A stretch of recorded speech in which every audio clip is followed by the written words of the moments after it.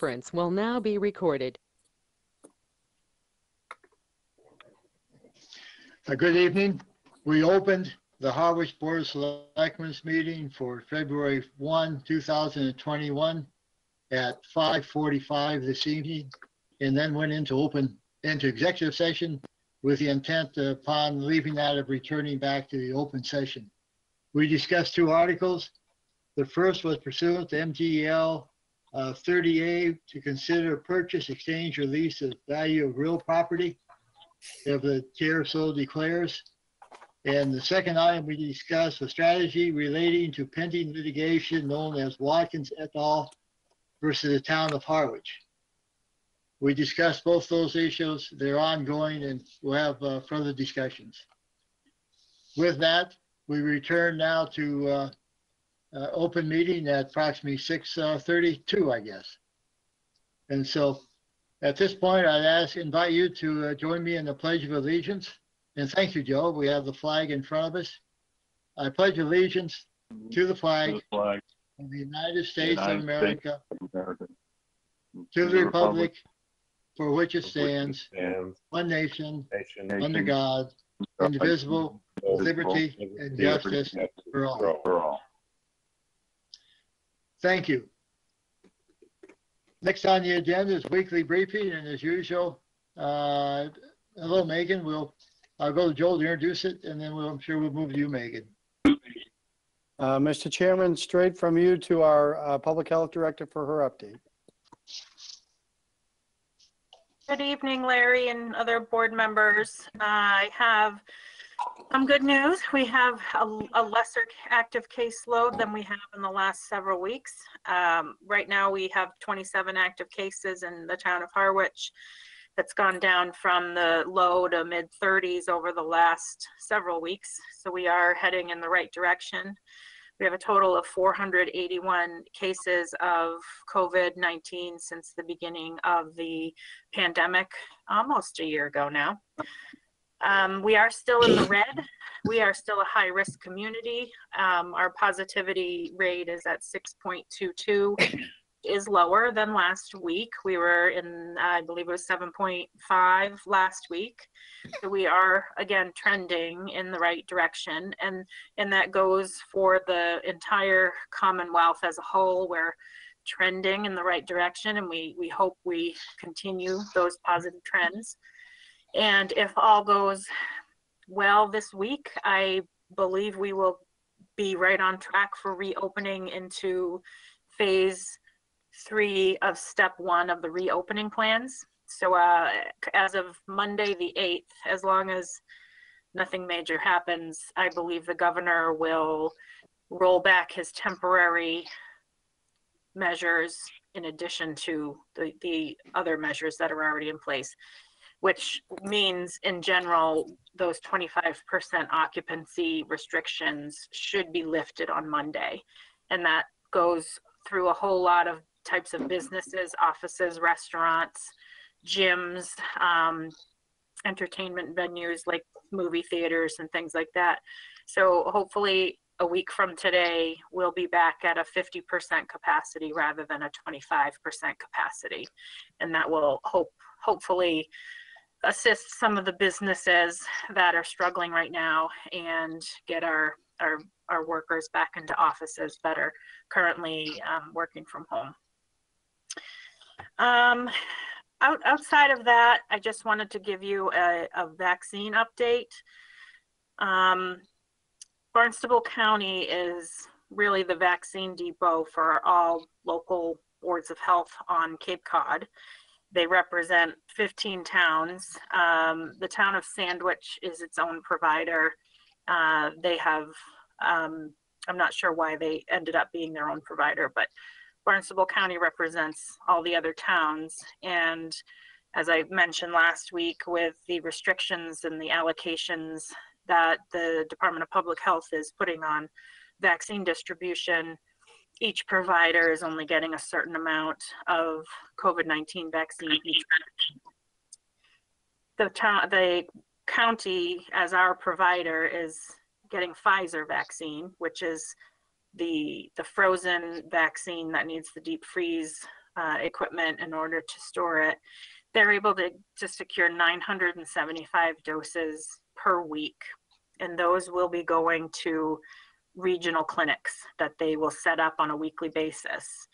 They have a few sites um, that they will operate out of, and they're trying to rotate throughout the Cape so they're able to get different uh, areas of the Cape.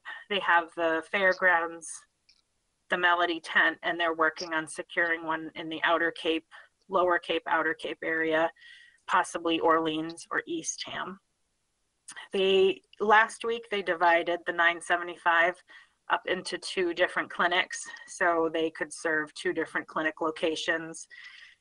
The tough part about the vaccine is once you take it out of the freezer and defrost it, it only has a, a few hours to to really work with it.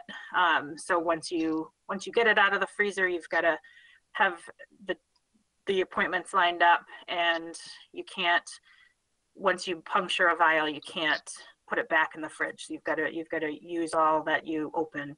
So it's a pretty intense process for both the Moderna and the Pfizer vaccines. And we learned, um, I learned today that it's not transportable once once it's delivered. It's delivered frozen, both types. It needs to stay frozen until you're ready to use it.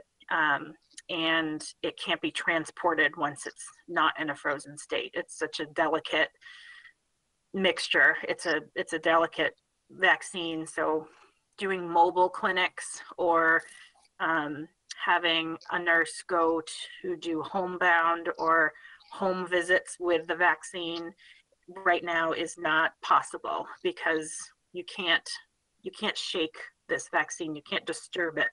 It needs to be very stable. So they don't recommend traveling with it once it's in a liquid state. So that does change some of our hopes for doing homebound residents. Um, at this point it's not a possibility. They're they're looking possibly the the johnson and johnson vaccine might be a possibility for for doing something else that you can open a vial and, and, and move from house to house with it. Um, with that said, the 975 a week on the Cape doesn't go very far. We have hundreds of thousands of residents all itching for the vaccine, and, and we understand that. We have other options that are also very slim on the Cape. We have CVS, Walgreens, and Stop and Shop that are also providers. And if you go through the mass.gov website for the vaccine map, you can click on those locations and attempt to get an appointment. And if you're if you're lucky lucky that day, you can secure an appointment. I've been on a few times just to see what the process is like, and it's it's very simple. Um, it's like signing up for uh, a newsletter at first. You just put your name and address in, and it searches for 50 miles around you for a vaccine. Um, and if there's one, it shows you the, the date and time of, of it, and, and you can book it for an appointment. Lately, I've been on, and there's just there's no vaccine within 50 miles of Harwich. There is vaccine available off Cape, and Cape Cod residents, any residents within Massachusetts are able to go to, there's three mass vaccination sites. You don't have to be a resident of the town that that, re- that clinic is in. Uh, the one at Gillette, and then there's one at Fenway, and there's one out right outside of Boston. So if you are desperate for a vaccine right now, you are able to travel for it. Um, I just want to remind people that being vaccinated doesn't make you able to not social distance or not wear a mask. Um, it doesn't give you the green light to go visit family that you haven't seen in six months, nine months. Um, it's a step towards that, but it's not. It's not a a, a, a free for all once you've been vaccinated. So if we can wait another month, we believe we'll be able to get more than that 975 doses per week. And we'll be able to have larger clinics that um, people will have to get out of their houses to get to, and that's really unfortunate for for some of our our vulnerable populations. Um, the state is working on a solution for that. Um, phase two of the vaccine distribution plan started today. So all of the people in phase one are eligible and they remain eligible forever. Um, and then phase two starts today, phase two, group one, and that is people who are 75 years or older. We'll, we'll be in this group for at, at least a week, probably two to three weeks before we open it up to the next group in phase two, which includes um, people that are 65 or older or anyone that has two or more comorbidities. So we're moving along. It's very frustrating. Um, the town of Harwich does not have a wait list. The county does not have a wait list. That's been a, a popular question on the on the voicemail is how do I get on a wait list? The short answer is there is not a wait list. But if you are lucky enough to get on the vaccine map and find a public clinic, if you get your name in there and then while you're registering, it fills up during that two minute time, which it, it, it does right now. Your information is stored. And should someone cancel, they'll call you and you, you'll need to give them a phone number and email. So there is this somewhat wait list, but it's not, it's not an actual wait list. It's, you're put on a list if, um, for some reason someone cancels or they aren't actually qualifying for that group. So say someone age 65 signs up for a clinic next week and as the, the coordinator of the clinic goes through the list, they, re, they see that they're not 75 and they reach out to them and they, they're not in phase one either. That person will get kicked off the list and it will open up a spot and the computer system sees that someone had been trying to get a, a, a spot for that day. It, it's not an actual wait list and I'm not 100% sure on how it works, but sometimes you're able to be on a standby for that particular day. Um, I think that's it for vaccine. We are working on a upgrade to the town of Harwich web uh, website. Um, the COVID-19 resource page was just kind of a data dump. All, all of the data got put on that page and it never really got cleaned up. so we're starting a new one and it's got a button on the home page and we're populating it this week. Um, hopefully, hopefully making it easier to find what you're looking for with a list on the left side. So if you're just looking for testing sites, you can click on a link and so forth.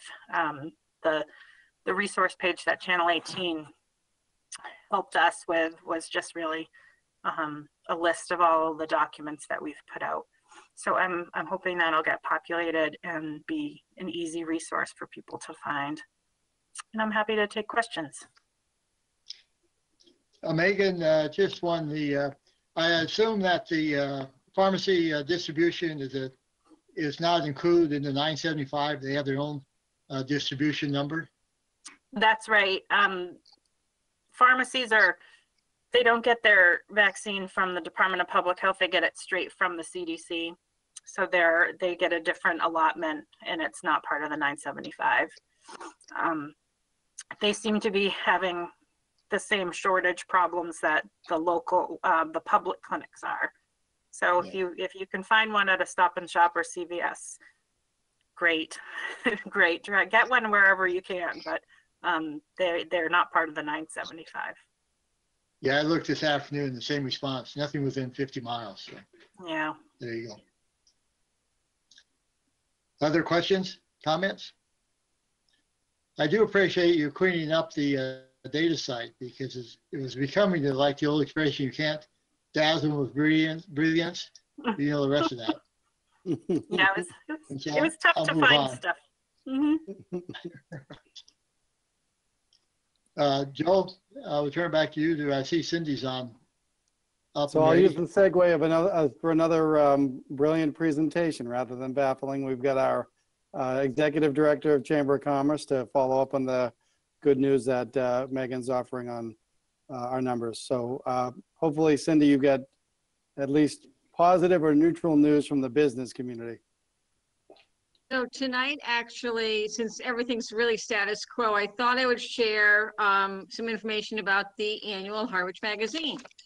Um, because that actually does um, reflect all of the town, our businesses, and uh, this year it'll be a little bit different. The uh, theme of it is Harwich Life, live, work, play, and grow.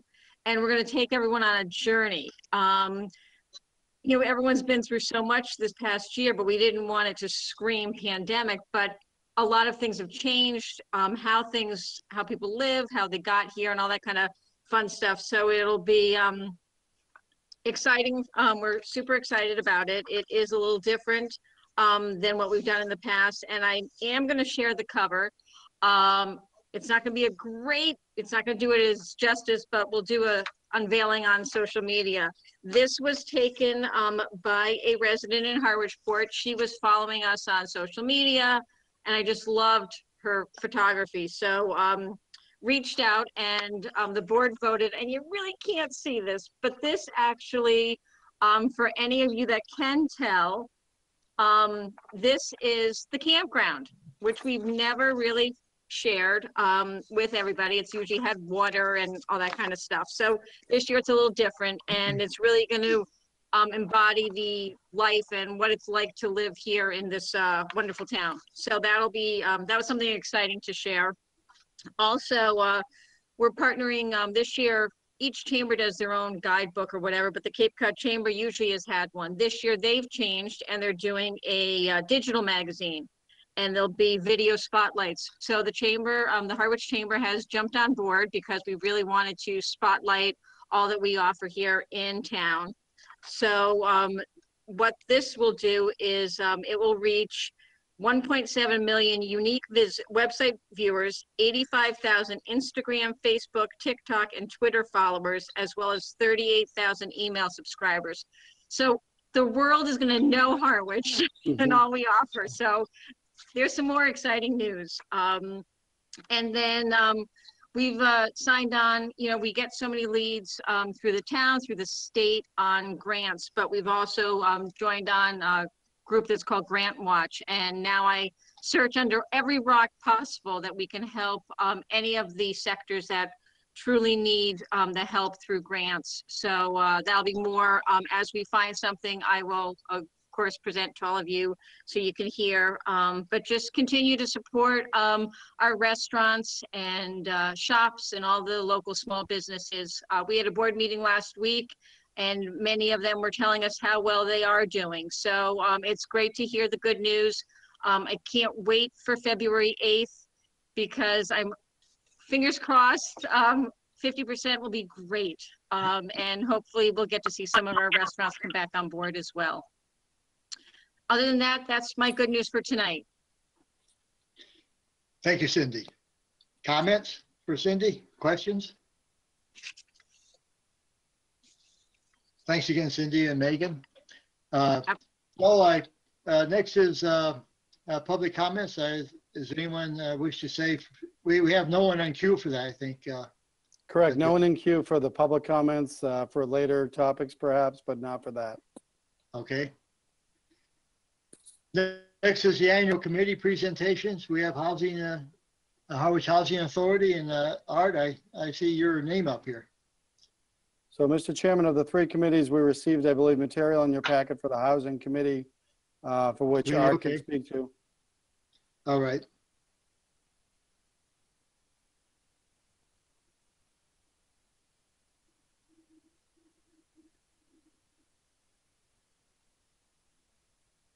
I I guess I'm on then. I I was looking at the, I was looking at the agenda and I was number two, but I'll go first. That's okay. No problem there. Uh, Good evening, uh, Mr. Chairman and- and members of the board. Uh, Art Bowden, um, presenting the uh, uh, Harwich Housing Committee Annual Report for 2020. During the past year, the Housing Committee has focused on its mission to be an advocate for housing. We have supported a representative to the Community Preservation Committee by, for funding, uh, supporting funding for affordable housing initiatives and rent- rental assistance program administered by the Harwich Housing Authority. When called upon, the Housing Committee has offered voice and written comments supporting affordable housing projects. Earlier in the year, the committee participated in a joint meeting with the Affordable Housing Trust Committee to form a partnership for a more singular approach to solving hou- housing issues. Additionally, the chair supports the Affordable Housing Trust by attending meetings and adding input on agenda items and recommendations of direction that the Affordable Housing Trust should be pursuing. The committee is committed to being a partner with the Housing, the Affordable Housing Trust. Continuing, the Housing Committee visited other towns this, uh, this past year to witness firsthand the process that what other towns are achieving in building affordable housing. One of these projects is a recently furnished project in Hyannis, sponsored by the Housing Assistance Corporation. It's called the Ridge Road Apartment Complex. It consisted of 16 one and two bedroom apartments. And it illustrated uh, what a project, it demonstrated what can be done on a small parcel of land and with a design that complemented the area. The committee has maintained its representation on the County Home Consortium Advisory Council, participating in their monthly meetings and playing a role in determining the allocation of housing funds that the Housing Home Program administers. The committee also supports the Real Estate and Open Space Committee by attending their meetings and advocating for housing. The Real Estate and Open Space Committee plays a pivotal role in determination of the use of land that becomes available to the town. Therefore, it is essential to have housing in the room when the determination for land use is being discussed. During 2020, Habitat for Humanity started work on six homes on Murray Lane in West Harwich. We are thankful that Habitat is back in Harwich, building owner-occupied homes. It is important that we support this great organization now and in the future. In closing, I want to thank the town administrator, Joe Powers, and the Board of Selectmen for their support of housing initiatives, and the town planner, Charleen Greenhalgh, for her support and all requests made to her.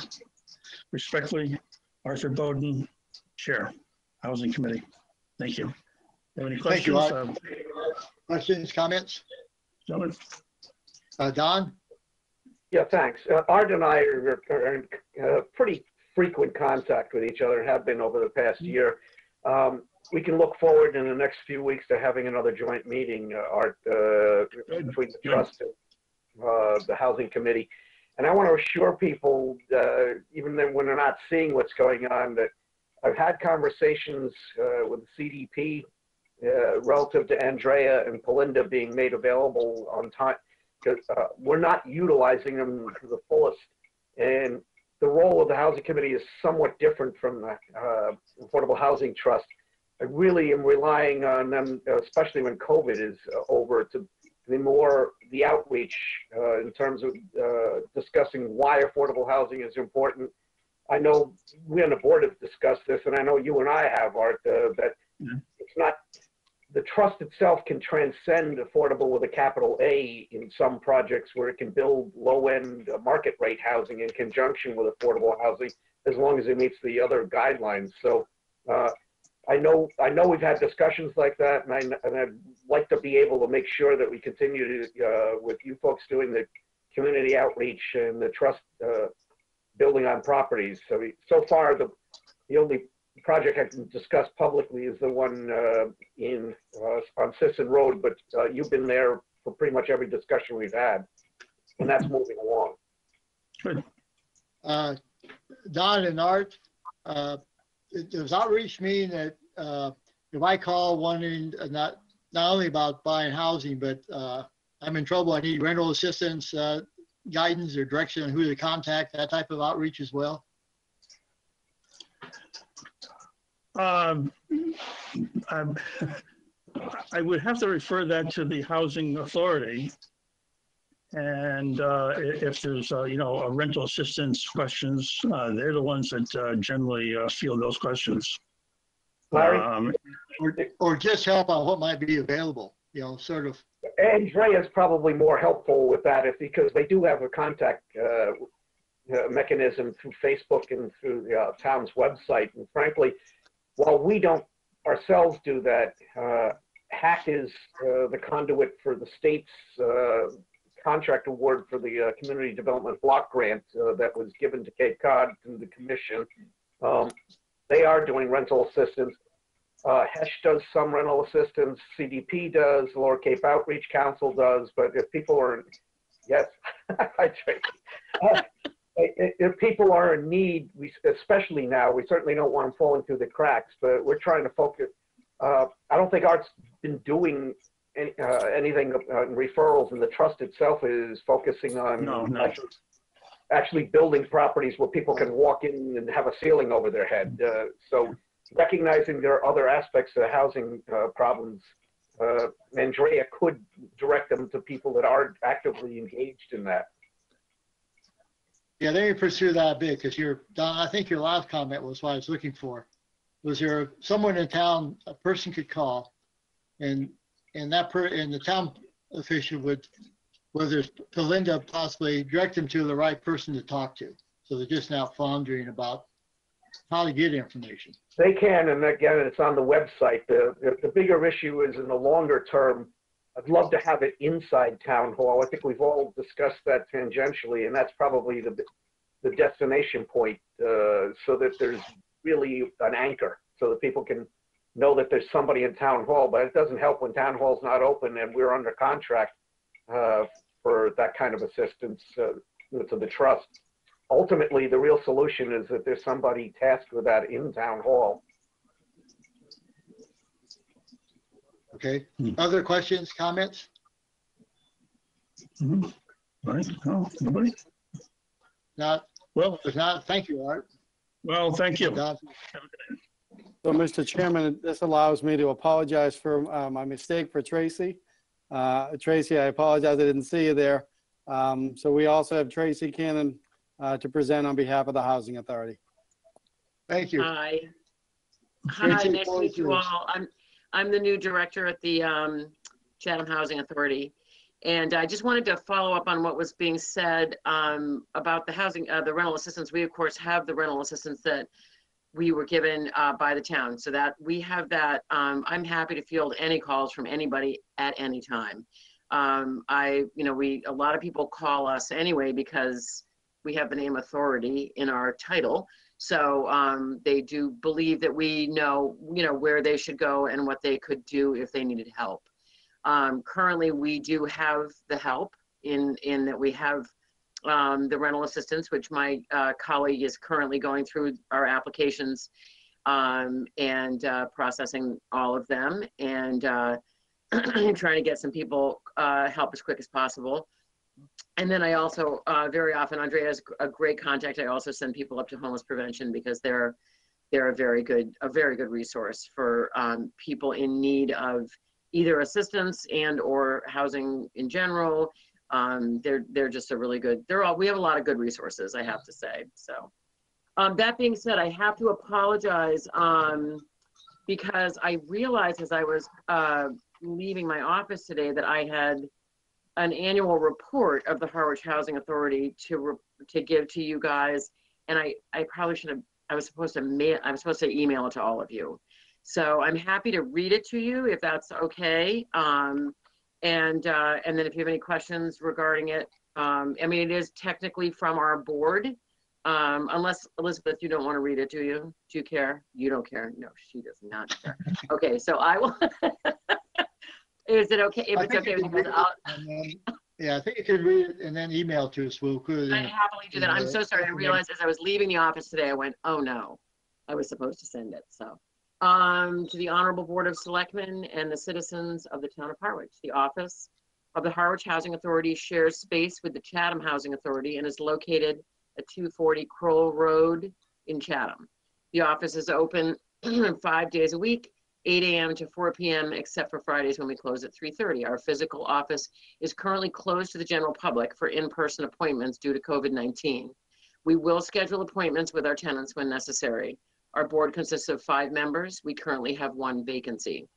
The mission of the Harwich Housing Authority is to provide affordable, decent, safe, and sanitary housing through the maintenance of our existing units and the development of new units, to create an environment which enables residents to live responsibly and with dignity, to support residents in their effort to achieve self-sufficiency, to honor public commitments in a fiscally and ethically responsible manner, to create and maintain public confidence in the authority's operations and staff, to ensure that the facilities owned and managed by the Harwich Housing Authority are marketable to the community and are appealing to residents, to enable the Harwich Housing Authority staff to improve their performance through appropriate vision, training, and career development, and to establish performance goals that meet or exceed industry standards and that optimize the use of available resources to achieve our performance objectives, and to assist the town, state, and national governments in ide- identifying and addressing housing needs. Eligibility for housing subsidized through the Harwich Housing Authority is governed by rules and regulations promulgated by the Commonwealth of Massachusetts Department of Housing and Community Development and the United States Department of Housing and Urban Development. The Harwich Housing Authority operates a total of 41 units of state subsidized housing under three different government subsidy programs. State programs include the Massachusetts Rental Voucher Program, which currently has 21 scattered site family and elderly vouchers. These voucher amounts are based on income and pay for any portion of rent that exceeds 30 to 40% of household income. The state has revamped the program, opening it up to a wider income base for eligibility. Other programs include the Massachusetts 705 Family Housing Program, which consists of 12 family units, two two-bedroom units, and 10 three-bedroom units, one which is wheelchair accessible. The rent for these apartments is based on 27% of household income after deductions. And finally, we have the Massachusetts 167 program through the Department of Mental Health, which has a total of eight special needs units in a single building, which is currently leased to Vinfen. The projects being funded with Community Preservation Act funds approved by Harwich Town meetings consist of the Rental Assistance Program, which is still going strong. We requested $150,000 in additional funds from the CPC to continue the program and have just received 200,000. CADA has begun the process of updating our waiting list and preparing to accept our newest group of recipients. With these funds, we'll be able to assist a minimum of 18 households. We have assisted over 100 households since the program started. Under this program, we offer assistance to qualified families to, by paying a portion of their rent each month, not to exceed $350, for a maximum of three years. We re- recertify them once a year and adjust their voucher accordingly. This program is designed to help people as they work towards becoming self-sufficient. We continue to contract with the Chatham Housing Authority for management of the HHA. Tracy Cannon and Kata Kaler Rice handle the daily activities of the Harwich Housing Authority. Dave Chauncey is our maintenance mechanic and works a part-time schedule with the Harwich Housing Authority. We thank them for their service. The Harwich Housing Authority wishes to express its gratitude and thanks to the town and citizens of Harwich for a successful 2020 and looks forward to a productive 2021. We welcome and encourage your support and suggestions in our efforts to continue to provide quality housing for residents of Harwich. Respectfully submitted, the board. So that's you, our, uh, an- that's our annual blurb. Um, primarily right now, what's going on, um, the big, you know, I mean, the most uh, important thing right now is, of course, the, uh, uh, getting the, um, housing assistance out. That is what we're working on, um, most right now. We have our twelve units are full. Um, we rarely get vacancies. The families are very happy where they are and, uh, and they all seem to be doing well. We did just, just begin doing a, um, kind of a, I don't know, if- we're trying to neaten up, um, some of the properties. So I've, uh, I, um, allocated some funds to get landscapers over to Long Pond to get, get things cleaned up a little bit over there. And, uh, Um, but all in all, I think they're in pretty good shape. The properties seem to be in, in, uh, in pretty good shape. So, and the, and our group home is going strong. So that's the report. Questions or comments for Tracy? Uh, Don? Yeah, I just want to take note of Elizabeth uh, Harder sitting over there in uh, one of the Hollywood squares. Uh, I know she's too shy and self-effacing to talk about anything, but She's been Uh, unusually quiet. in deference to art, I, I, I don't know that there's a more ardent and passionate uh, advocate for affordable housing, Elizabeth. I'm, I'm just here to support Miss Tracy tonight. Um, but yes, you know, housing, more housing. We need more housing, please. Thank you. I believe I've heard that before from you. Thanks again, Tracy. Oh, That's you're it. welcome, We'll Larry. move- We'll, we'll move on. Uh, Uh, Mr. Chairman, I'm Joe, you not said sure if there's there's, anyone. uh, Anyone from historical- his- historical? Yeah, I'm not sure. We, we didn't get a report. Um, so we can follow up on, uh, on that and have them come back. Okay. Let's move on then to public hearings and we have a presentation on the possible uh, reuse of uh, Bank Street Fire Station. So thank you, Mr. Chairman, members of the board. In a moment, uh, you'll hear from uh, Jeff Locantori. Uh, Jeff and John O'Callahan have been meeting with me, uh, well, virtually, of course, but uh, regularly. Uh, They have a uh, proposal uh, that Jeff would like to present this evening regarding the reuse uh, of the property at 203 Bank Street. And so uh, with that, Mr. Chairman, I would just uh, turn it over to Mr. Locantori for his presentation.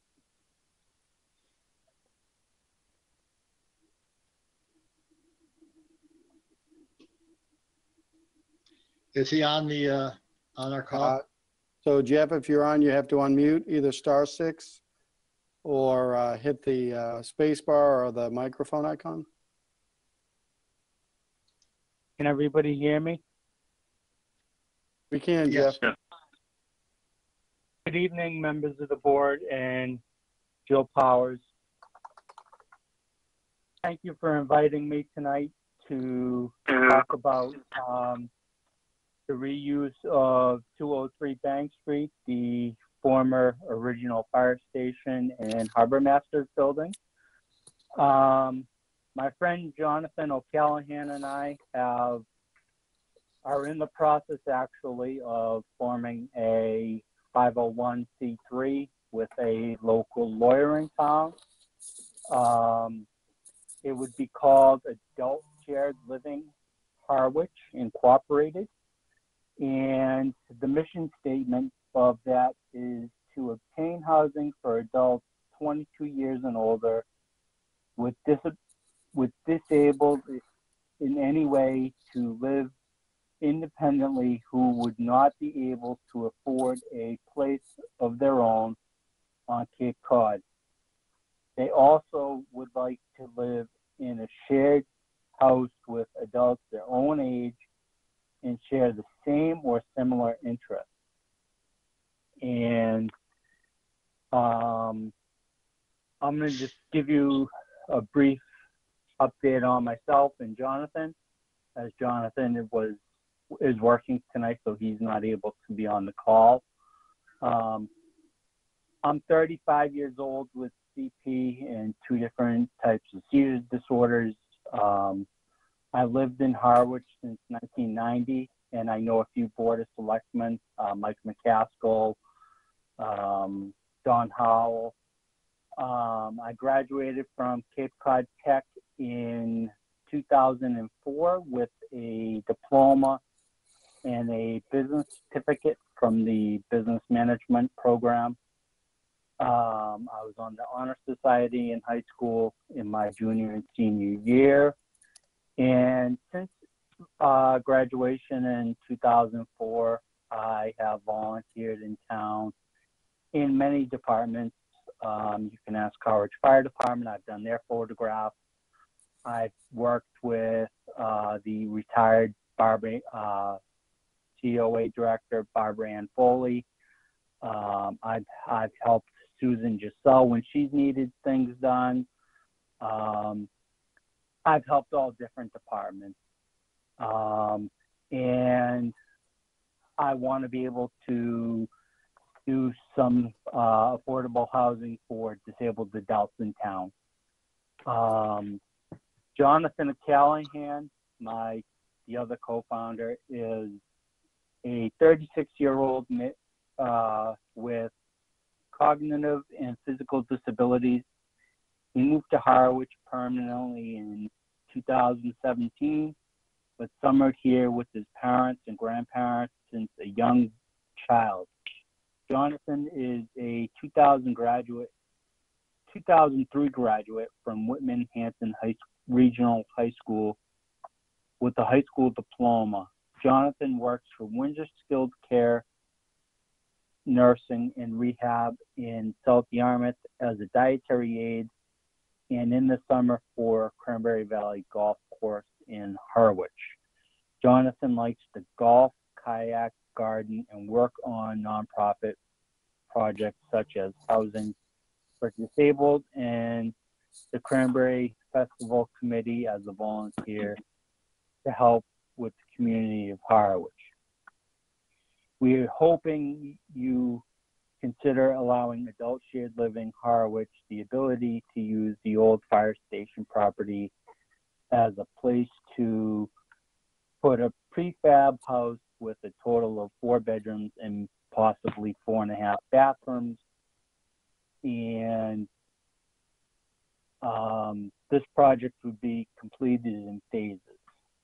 Um, you know, we are we're looking for support from the Board of Selectmen.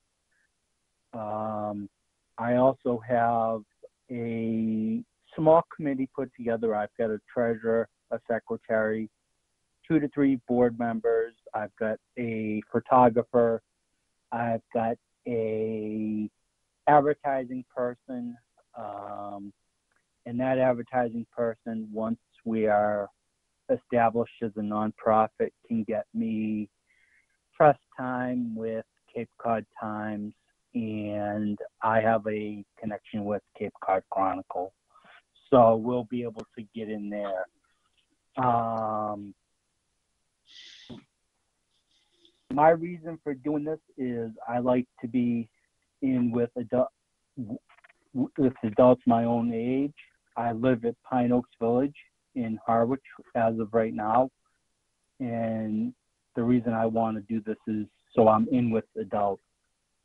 Um, I've worked diligently with Joe by phone because of COVID, of course. And Joe has been a great supporter and he's helped us with a lot of information. Um, I've also worked in the past with Art Bodin, and I believe Art's on the call tonight.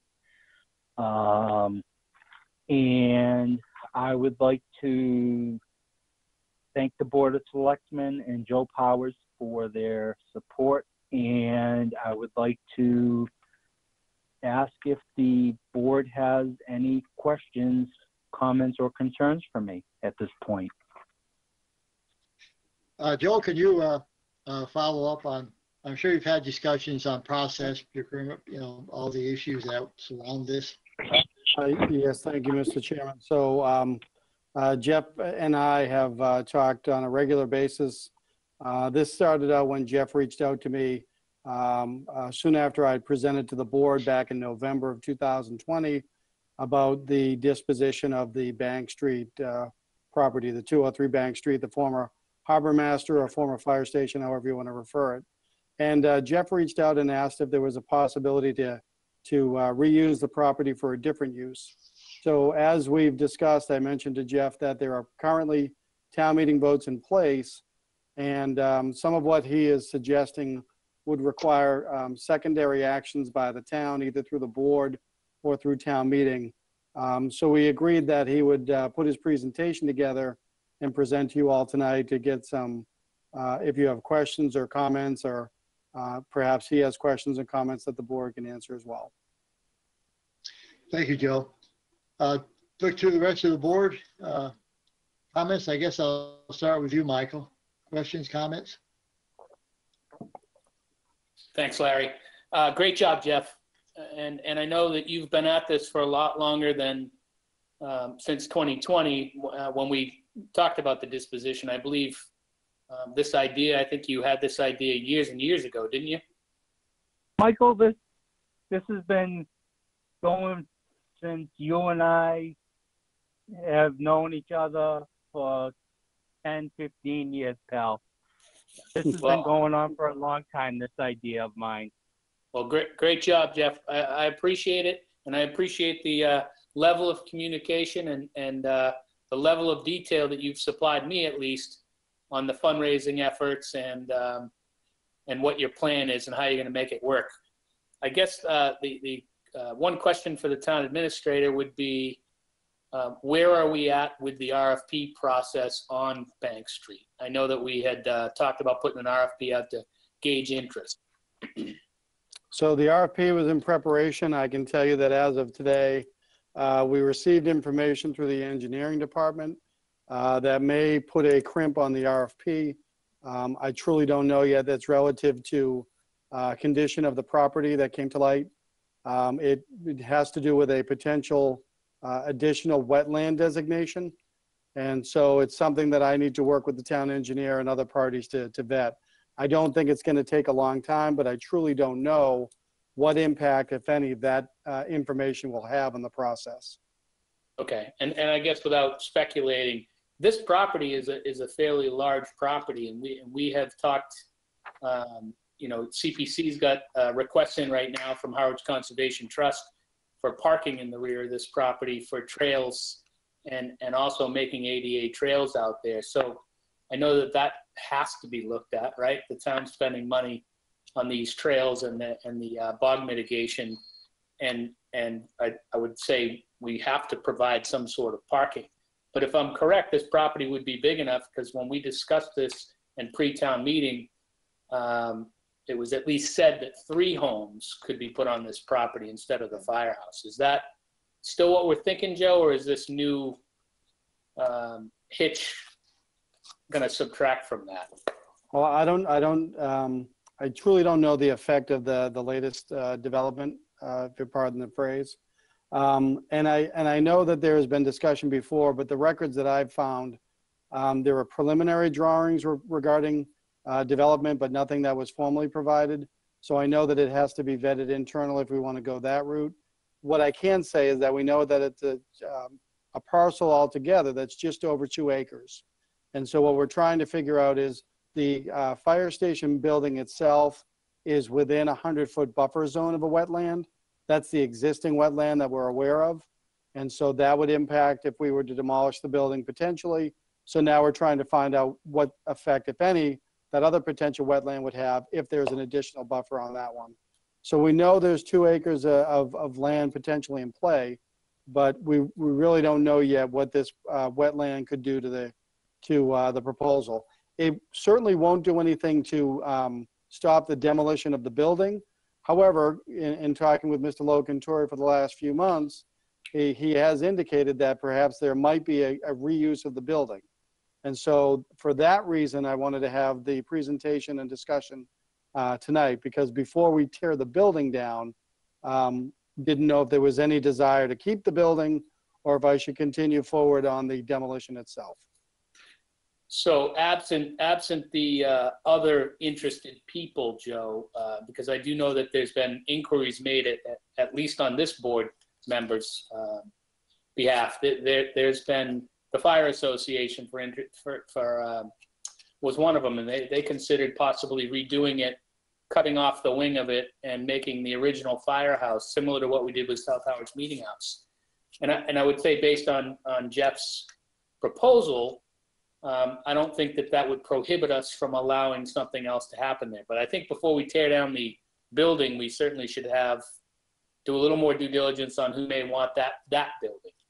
Um, absent a decision on this and, and direction that we're gonna go, I think Jeff, um, has, has put himself out there. I think he has a great plan. Uh, I think it's a great idea and it would be a great statement for the town of Harwich to jump in on this. Um, Michael, I, I have a question for you. Go ahead. I if this plan was to go into place, does this increase with the disa- putting the disabled adults in this um, unit? Does that increase the amount of affordable housing there is in town? Absolutely. Um, and, and then just, just to further where I was going with that was, um, we have a housing, we have a housing trust and, and Don Howell is, uh, the chairman of that housing trust. Some land was given to the housing, housing trust at town meeting. And I, I think it would certainly be something that maybe the housing trust takes up and, and possibly we do it on, uh, one of those pieces of land if, if it's possible. I know the town, town of Harwich owns a lot of land, so maybe we go back to, uh, town meeting and, and pick another piece of land. And I've always said that we should be doing something quite different with the Albro House next to Town Hall. And I, and I used, uh, two years ago, proposed veterans housing in there. And right now, we have one office, one town office in there. Uh, and then I believe we rent some space to a private party. But it seems to me that we're paying an awful lot of expense for that building to have one person. So I would also advocate um, for the Albro House if we can't find another piece of land. But Jeff, uh, just so everybody's clear, I 100% support what you're doing. I'm not 100% sure on the Bank Street Firehouse right now, but I thank you for your presentation and I, and I look forward to more. Uh, Thank you, Michael. Michael. Uh, Ed, do you have a uh, comment?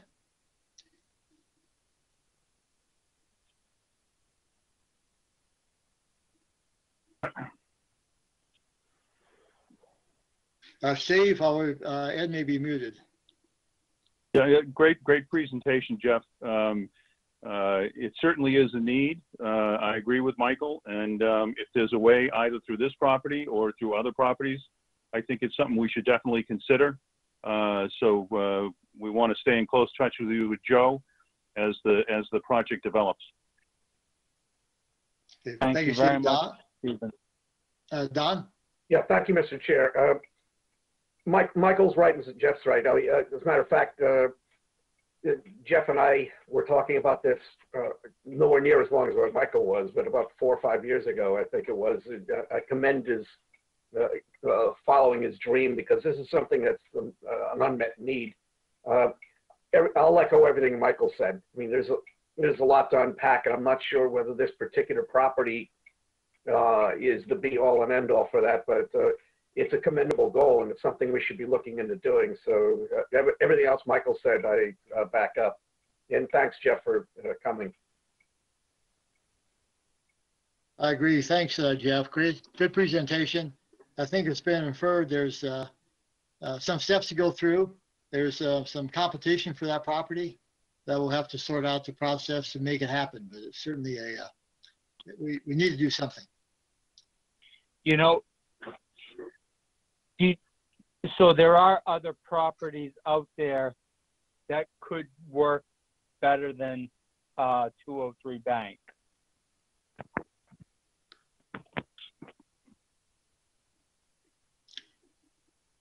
There is, but I think we'll pursue this discussion. We'll see where, where it goes as well. Uh, Joel, any final thoughts? If uh, not, we'll move on. No, that was all I had. Um, you know, like I said, Jeff has been, um, uh, very passionate about this and we, uh, we meet regularly. So, um, I think I have, um, plenty of information tonight to take my next steps. Uh, Jeff, I know that you and I talked today and we will pick up the discussion again later if that's what you'd like to do. Before I uh, leave this, before we leave this subject, is there anyone else on the video conference that would like to uh, chime in?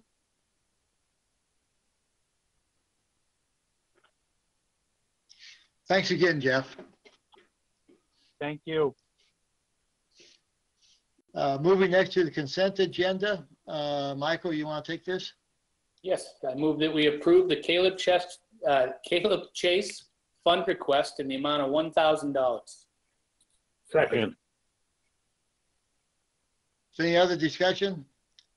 If not, I'll take a vote. Don, Aye. Ed, Aye. Steve, Aye. Michael, Aye. and I'm an aye. So Mr. moving Chair. to uh, new business, Yeah, Mr. Chair, I'm gonna work down through these if, if, if uh, you'll allow me. yes, Prior to, prior to that, I just want to ask the question that I've been asking um, before each one of these votes come up on uh, liquor licenses or entertainment. Are any of these subject to hearings or um, anything that would, would warrant us not voting for them tonight? So um, the only one that stands out is item number six, Ember Pizza. Um, There is a pending matter, and um, I am hopeful to uh, finalize my um, report on that tomorrow and to work with the chair on the hearing coming before the board. Otherwise, I'm not aware of any other establishments having any prior issues uh, with uh, these or other licenses. And then the uh, follow-up question, I guess, would be then, is there, is there a, um, is there any reason to vote this tonight, or do we bring it back after you finalize that? It's, it's my understanding that the board um, could renew tonight uh, because you, um, you have a separate matter. Uh, You're the licensing ma- uh, authority on that other matter. You could take any action at that point in time. So if you did approve tonight, there would be no harm in the future according to counsel. Uh, And if you held off, there would be no harm rendered because of a future action, a future Okay. discussion on the hearing. And I guess, Joe, the only other question is, on these licenses, is there any changes to the hours requested for entertainment or these renewals from last year? Uh, It's my understanding that these were the requests, uh, these mirror requests from last year. Okay. Um, I think I'll read these individually and. I Uh, think we- Michael, may I ask, a- I'd like to ask one question. Because the hours look to be consistent, and that's good. My question is, uh, the uh, amplification of the music. That's, that's been a concern. Is, is that something we need to consider as we move more to outside entertainment? Well, you want my opinion? I want everyone's opinion. I'm throwing it out because as we, you know, we know from this past year, when we moved more music outside, it caused uh, more difficulties now. Uh, So I'm just raising it. I, I, I personally, and, and I am the liaison to the Noise Containment Committee. Um, they have some recommendations and, and they are, they are at a standstill on, uh, definition of audible, audible noise and the hundred and fifty foot mark. Um, and I look at this a little bit differently than, than, than, uh, than the minority of the committee, I guess I would say, because it was, it was voted and the minority of the committee still holds strong that we need to better clarify audible, audible noise, and it can't be, um, it can't be a lyrics test, is, is basically what the minority of the committee saying. I, I do think that we owe um, the public and, and the Noise Containment Committee that spent, you know, uh, a year of their lives working on this, um, some answers, and we haven't voted an action plan yet. So when it came before the board, we talked about a much swifter action and, and uh, much swifter punishments. Um, So, it- you know, in voting these tonight, Larry, it, it would be at least my statement that this comes back uh, to the board and we discuss what that action plan is gonna be. And prior to these businesses opening with their entertainment, they made very well aware of what our new policies and procedures are gonna be. um, So that they can have some comfort that we're gonna act on it and we're gonna act fast on it. And I know COVID played a big part this year in, in not having hearings fast enough. um, And us being very open to outdoor entertainment uh, because of COVID. We're gonna have COVID again this summer. And I'm sure we're gonna be tasked with letting people operate outside more. So um, there was a good portion of the public that wanted to see some changes, and we have not uh, discussed that, and we still need to discuss that. And we'll bring that back as soon as you, uh, your committee comes back with that then. Don, you had any comment? Yeah, thank you, Mr. Chair. One specific one, and, and then I'm going to ask Michael for something uh, to be contained in his motion, but the Harwich Inn and Tavern on the Sunday, was that that, is that still the same in this request, the 12 AM Sunday? uh, And beginning at 1 PM? I'd have to Oh. do more research on that. I don't have it directly in front of me. Well, just in general, Mr. Chair, what I was hoping Michael would do in his motion is also include some language in there about, and other such terms and conditions as have been previously associated with these licenses, so that we don't lose anything. I see your point. That, that kind of goes back to Michael's, your suggestion that we can follow up on these discussions when we have the policy in place, so. Right? Are you willing to, to uh, modify your motion, Michael? Yes, absolutely. Okay, with that, I'm going to move that we approve Harwich Inn and Tavern, 77 Route 28, weekday, 12 PM to 12 AM inside and 4 PM to 8 PM outside. Sunday, 1 PM to 12 AM inside with any other terms and conditions previously assigned. Second, Any other discussion? I'll take a roll call. I'll start with an aye. Michael? Aye. Don? aye, Ed? Aye. Steve? Aye. It's a vote. Okay, I move that we approve Jake Rooney's 119 Brooks Road, weekday, 5 PM to 12 PM inside and 5 PM to 10 PM outside, Sunday, 5 PM to 9 PM inside. Uh, Enter, entertainment license with any terms and conditions previously assigned. second, Okay.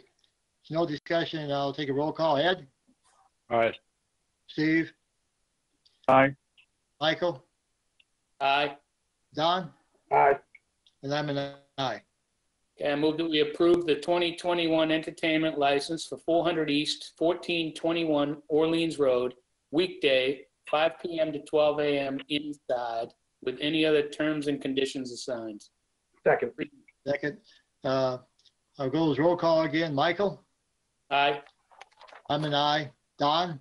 aye, Steve? Aye. Ed? Aye. Voted? Okay, I move that we approve the 2021 entertainment license for Cape Sea Grill, 31 C Street, weekday, 11 AM to 12 AM inside, with any previous conditions assigned. second, Discussion? None. I'll uh, take a roll call. Michael? Aye. Don? aye, Steve? Aye. Ed? Aye. And I'm aye.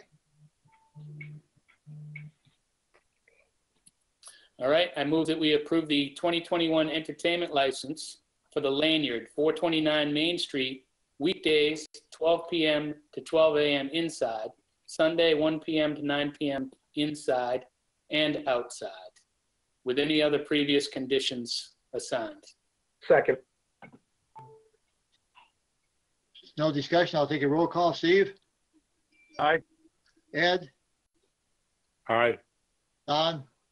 aye, Michael? Aye. And I'm aye. Um, I'm going to look to another board member to make a positive motion on the next one. I, I, I struggle with this. It, it, um, we clearly can't do anything right in the, in the uh, applicant's eyes. And, um, we've been waiting for hearings for quite some time. And as I read in the paper last week, we did that wrong again. I, um, I, I can't make a positive motion on this, not at this time. Uh, Mr. Chairman, if I may, to an earlier No. question. Uh, You'll see in the memo from staff uh, what they're requesting this year comparison to what they had last year. And uh, you'll see that the weekday is an expansion. Uh, They're looking to go from 6 PM uh, um, uh, outside, excuse me, they had 6 PM to 10 PM outside. They're looking to go 10 AM to 10 PM outside. And Joe, you're, uh, you're scheduled a hearing now when? So the hearing has been completed. I'm finalizing the report with counsel. The only thing that's holding me up right now is making sure I secure notice to the, uh, to the uh, attorney uh, prior to setting the time um, with you, Mr. Chairman. Let's see, I- I'd be more comfortable delaying this until we uh, handle the hearing from our side. Yeah, I, I would agree, Larry. This is Steve Ward. If there's no positive motion, then, uh, Joe, let's bring this back when we, uh, after we've had a chance to assess the hearing results. So noted. Thank you, Mr. Chairman. Next on the agenda is the old business. Joe, I'll turn this over to you. Thank you, Mr. Chairman. So this is the first time, if you will, that this uh, item comes up under old business in the manner in which you see it on the agenda. Uh, And the reason why there's no packet material is there's really uh, nothing of um, significant substance this evening. Uh, All I really have is just some updates for the board and the general public uh, with an expectation that we'll have uh, actual topics and materials provided uh, on your meeting on February 8th. Um, So my update at this point, Mr. Chairman and members of the board, is we will have, um, and I'm probably saying the last name wrong, I apologize in advance, but um, uh, George Heufelder from the Mass Alternative Septic System Test Center will be on your agenda on uh, Monday, February 8th to discuss uh, innovative uh, alternatives, in other words, IA technology. Um, As some of you may already be aware, there was a presentation uh, on Thursday of last week, the 28th of January, um, to the Pleasant Bay Watershed Work Group. And that was by Ed Eichner and Brian Howes, and they're talking about uh, the updates on the nitrogen removal, uh, tracking and accounting on that. Um, I had a chance to sit in on the first hour and a half of that. Um, Very in-depth, very technical, um, but even I could keep up. Uh, We don't have the presentation material yet, Mr. Chairman, but once we have that, I'll share that with the board and the general public. Um, As, um, as you and Selectman Howell may recall, the next meeting of the DHY Working Group is uh, set for this Friday at 9 AM for February 5th. Um, I have uh, reached out to Yarmouth. I updated that, ta- uh, the town of Yarmouth about the board's vote uh, relative to uh, where we're at with the DHY agreement. And um, reaching out to my counterpart in Dennis uh, later this week for the same purpose um, to, uh, to have those side conversations with them as well. And so, as I mentioned, this is the first time that we have the topic on the agenda in the manner you see. And uh, starting on the week of February 8th, we should have substantive matters coming before the board. Uh, Joe, if I can add to, to that, in addition to George, uh, Brian Dudley from, uh, Mass DEP will Right. join us on, on the, uh, eighth, which will give us, I hope, a good discussion on both IA performance and then IA, uh, regulatory issues. They're scheduled to, uh, start at, uh, eight. Uh, Joe, to add further to that, I would ask, uh, any of my fellow board members, if they, uh, specific questions, if you can email those in to help Brian and uh, George prepare. And anyone in the audience uh, watching, or we can, Joe, get that word out. uh, Can send that also to you and uh, we'll pass those on so they have that coming into the meeting. Thank, and Mr. Chairman, the only thing I didn't have, did you say that that discussion will be at 8 PM? Hey, yes, Thank you. Don? Thank you, Mr. Chair.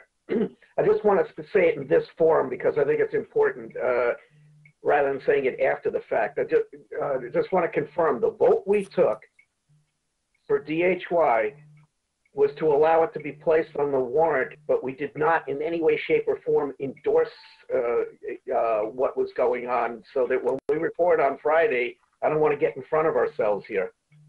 All, all we did was say that we're willing to put it on the warrant at the moment. I, uh, I think, and I hope that was clear, but that, uh, that should help. Okay, Joe, uh, any other comments? If, No, other than that, Mr. Chairman, I'd move right on to uh, my administrator's report. okay, Um, Excuse me, Mr. Chair. yeah, Uh, uh, Sandy? Sure, please. Yeah, you should have received my email. Um, Just as a side note, on the link for the email for public comment, uh, the blue highlighted area includes the word uh, "to," T-O with a space. And for anyone watching, um, that's not the proper email. If you actually type it out, you have to leave that off. When you click the link, the link works properly. I just wanted to mention that. Um, Okay, thank you. And then uh, just as a, a thought on the DHY, it seems like we're not gonna get into it too much. Um, but I've been thinking about it a lot, uh, since our last meeting. And I, um, I wanted to phrase the, phrase it as a question, um, to- to conceptualize the, the, the whole scope of the project. And in this way, if, uh, CDM Smith or an engineer had come to you and, um, said, you know, phases two and three, um, we're going to sewer over 145 homes that will not improve the bay, Pleasant Bay. Um, our cost estimates might be accurate, but they could be 30% higher. It could be 50% higher, it could be 60% higher. We're not quite sure. And we didn't really take land use um, seriously. We haven't really dug down into some of the alternatives. But please set that aside. Let's look at phase four, five, six, and seven, and we really should go ahead with those. I would ask, you know, hypothetically, you know, what would your response to be in, to an engineering firm uh, be? Um, and my point is, again, I, I'm just restating that I feel strongly that we need to take a close look at the foundation of the project because it does affect the other phases.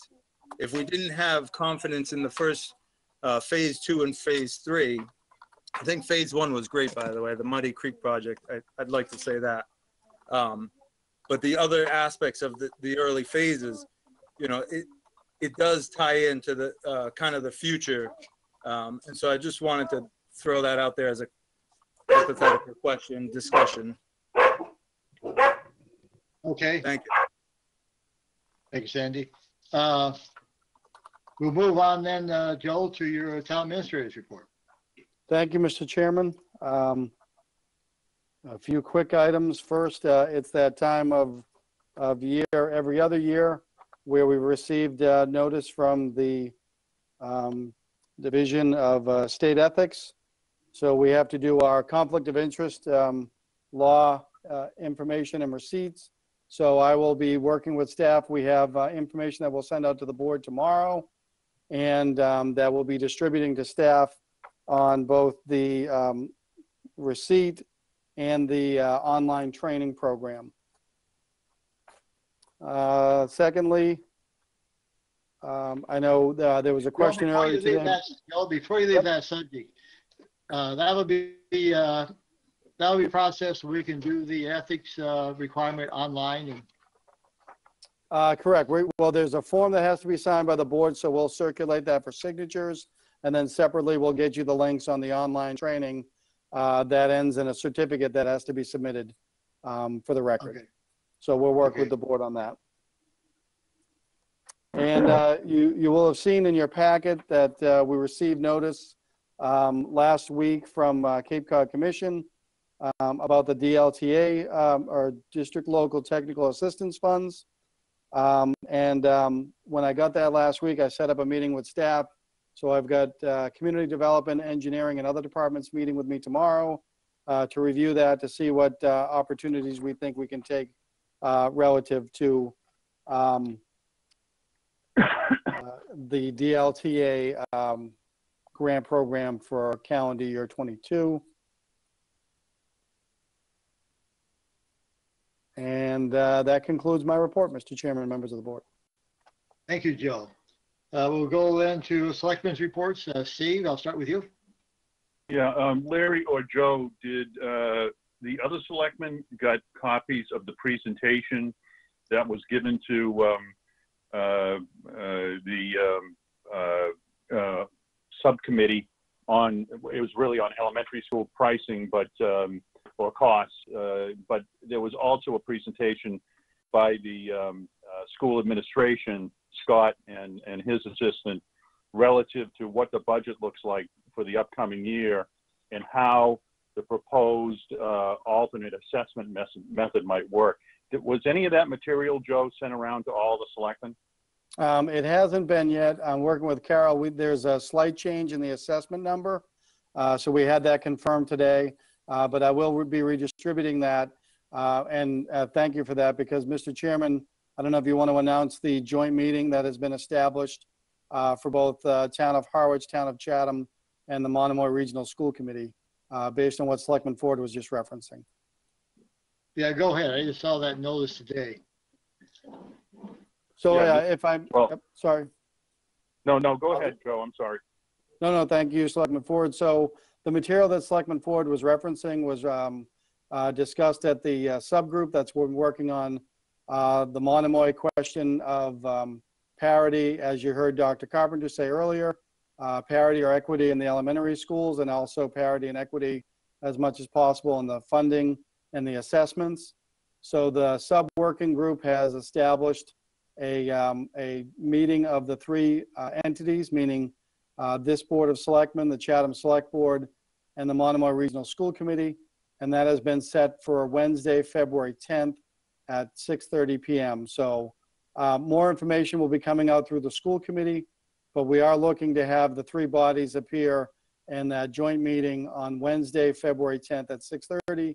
And that's really to get deeper into the question of uh, the alternative assessment that Selectman Ford just referenced, um, which is the, the current issue that's vexing uh, the district and quite frankly, us as well.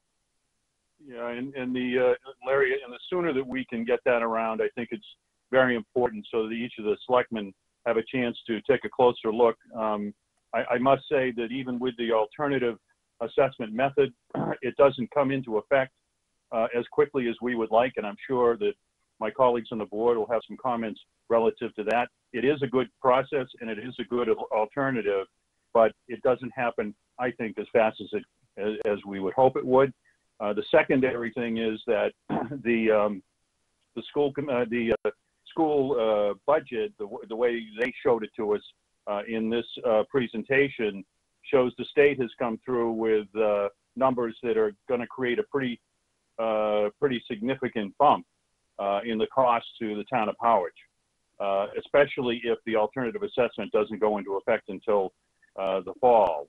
So, I think this is something we're all going to be very keenly focused on, and we should try to get a chance to uh, address it, um, you know, by reading through it ourselves prior to this meeting, uh, which I think would be very important.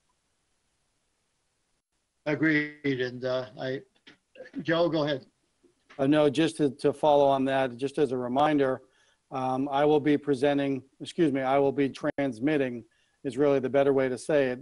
Um, my comprehensive budget report as required, uh, Monday evening on the, on the 8th, uh, which incorporates the, the, the money that, uh, Selectman Ford just referenced. And so, um, I say, I say transmitting because that's me conveying it to you. And then, uh, we can have a deeper dive on it before you then, um, make any changes or recommendations before it goes on to Finance Committee later in the month. Um, So much more significant information to be coming up uh, next week. Thanks, Joe. Thank you. Yeah, I think what Steve is, I think my concern, probably our concern is, I still, and this has been in the papers, so I, you know, regardless what's come out yet, is that this, the uh, change in the assessment process, my mind is still a long-term solution. And what our, a lot of our discussion has to be on what is the short term, in other words, what happens next year. So that I think we'll have to explore more. But thank you, Steve, for uh, participating in that. Uh, Ed, You bet. No. I'm fine. uh, Don, I don't have anything. Thank you. Michael? I'm good. Uh, as am I. So I guess we'll, I'm disappointed there's no snow here tonight, but I guess we've, uh, we'll have to live without it. Motion to adjourn. There's. no, Second. I'll I'll take a roll call. Michael, Aye. Don, Bye. Steve, Bye. Ed, Aye. and I'm an I. Good night, folks. Have a good night, everybody.